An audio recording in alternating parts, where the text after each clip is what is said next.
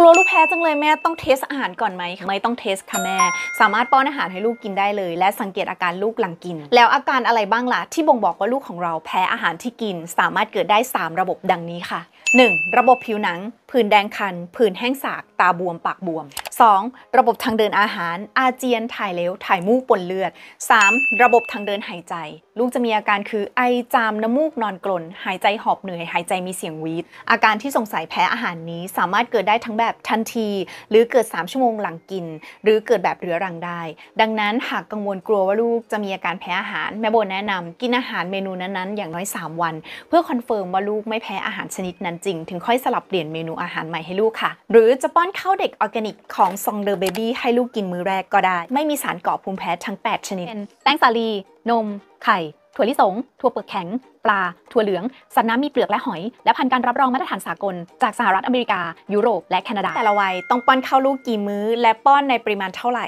ลูกวัย 6-8 เดือน ป้อนข้าว 1 มื้อ มื้อละ 3-4 ช้อนโต๊ะ ลูกวัย 8-10 เดือน ป้อนข้าวลูก 2 มื้อ มื้อละ 4-6 ช้อนโต๊ะ ลูกวัย 10-12 เดือน ป้อนข้าวลูก 3 มื้อ มื้อละ 6-8 ช้อนโต๊ะ ลูก 1 ปี ป้อนข้าวลูก 3 มื้อ มื้อละ 10 ช้อนโต๊ะ